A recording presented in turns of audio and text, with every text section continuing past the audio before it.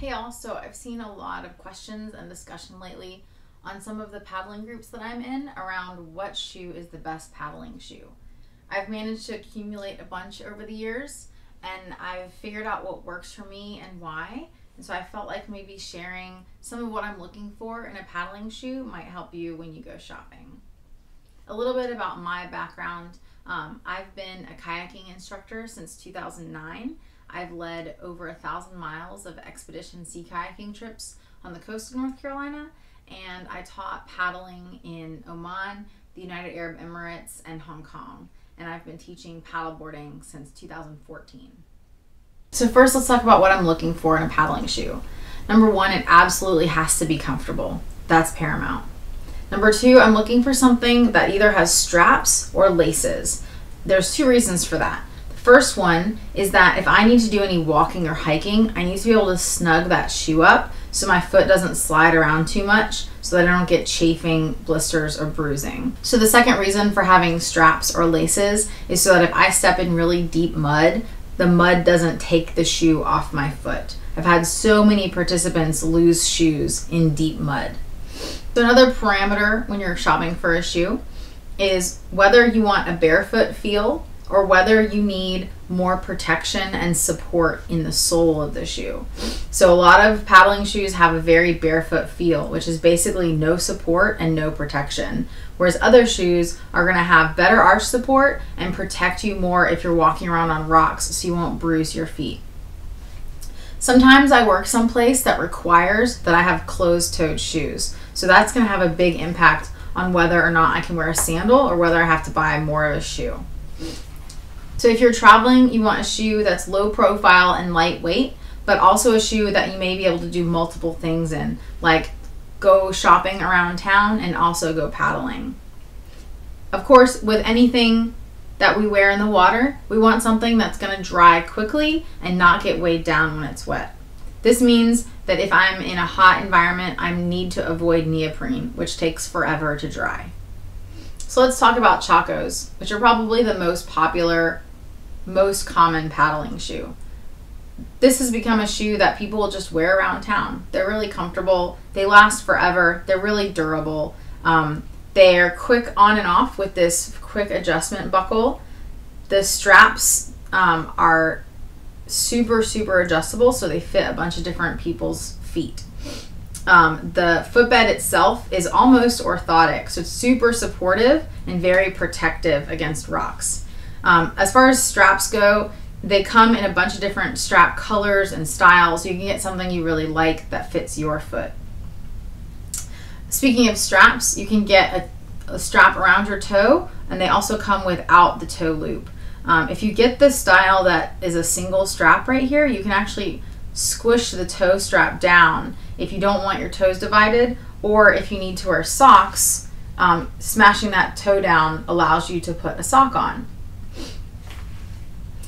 so Chacos also come in a couple different um, sole styles. So if you are going to be hiking, you can get, I think this is the hiking sole. Um, and if you're going to be on wet, slippery rocks, they actually make a stealth rubber sole, which is stickier. Um, so now that we've talked about the advantages to Chacos, let's talk about the disadvantages. So first off, they are big and clunky and heavy. They do float, but I feel like they take up a lot of space in my boat, and I have little feet. A lot of people who have bigger feet and smaller kayaks um, feel like this is too much shoe.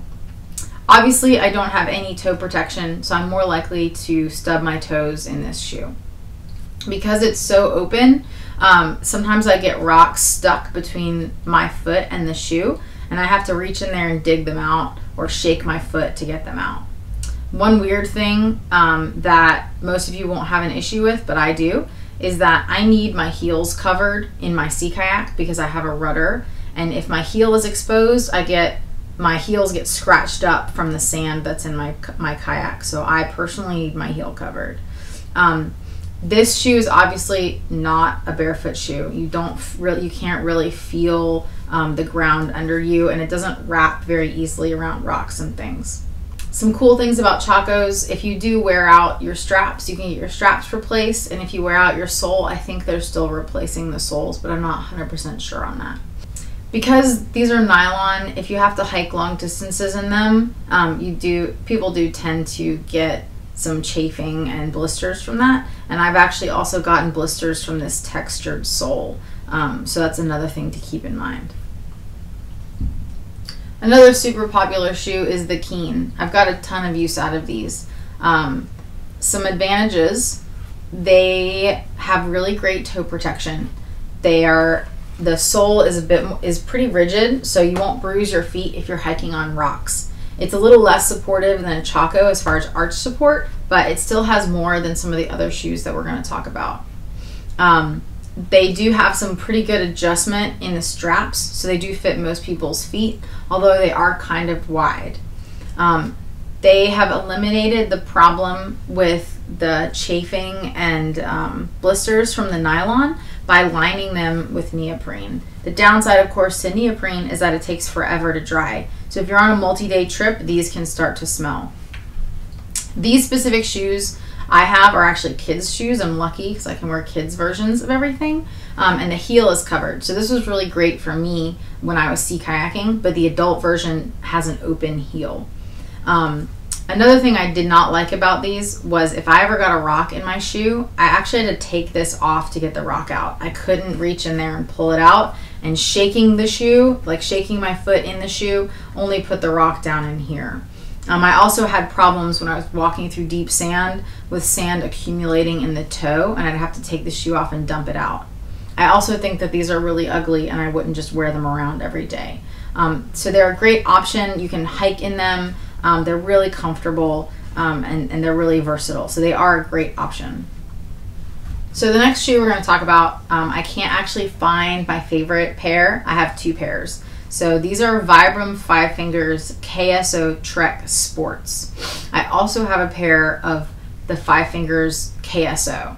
The main difference, so the top of the of both shoes is the same, where you have this like stretchy, quick drying fabric and mesh with a strap and a, this little heel pad.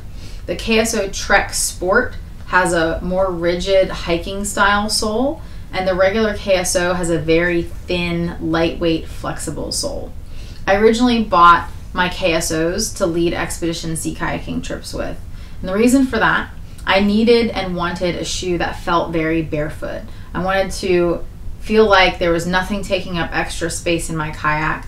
I needed my heel covered I wanted sand to stay out of my shoe, which this absolutely did. I needed a strap and a shoe that was going to stay on really well. I needed a shoe that when I was walking through deep sand that felt barefoot but would protect me from being burned by the hot sand.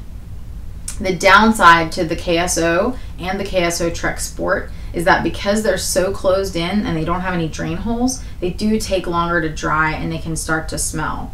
They also, because of these little individual toe pockets, they take a long time to put on, um, and they can be kind of tricky to put on. Some and some people really hate the feeling of their toes being separated. The regular KSO it has a really really thin sole, so you're more likely to get bruised if you're walking on rocks, and they have pretty much no arch support at all. This is the KSO Trek Sport. I bought this because I was leading canyoneering trips when I lived in the Middle East and I wanted a shoe that would keep out all the little pebbles out of my shoe that felt barefoot when I was walking over big boulders and things, but had better protection because I kept getting my my the balls of my feet were getting bruised when I was wearing my regular KSOs. So I've actually led some sea kayaking trips in this specific shoe too, um, and they're fine. They're great. They do a great job protecting you against oysters and rocks, um, and they're low profile enough that they feel pretty barefoot.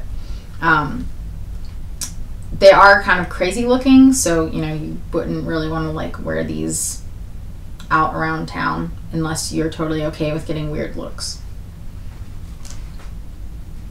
Um, so another downside to the any of the Vibram Five Fingers is that this is kind of a, a one season shoe. If it's cold out, I can't layer this with a neoprene sock um, because my socks don't have these divided little toes. They do make this in a neoprene version, but then I have to have two pairs of shoes, one for cold weather and one for warm weather. My all-time favorite paddling shoe and all around general favorite pair of shoes are the Astral Loyaks. So I love these shoes so much, they've become my daily shoe, and you'll see me wearing these just around town. Um, some features of this shoe it does have a siped sole, which means that they take a like some kind of blade and they cut little lines into the sole. what that does is when I flex my foot when I'm on a rock, it gives me better grip.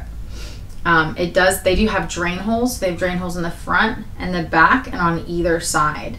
Um, this mesh allows the shoe to breathe pretty well, but does a really good job keeping the sand out. It actually kind of looks like just a regular shoe, so you can get away with wearing this around town. Some downsides to this specific shoe. Number one, it does have a lot of canvas and it has a little bit of neoprene up here. So it takes a little while to dry and they tend to get stinky pretty quickly. Astral addressed this problem and they came out with a newer version of this shoe that's that dries a lot faster.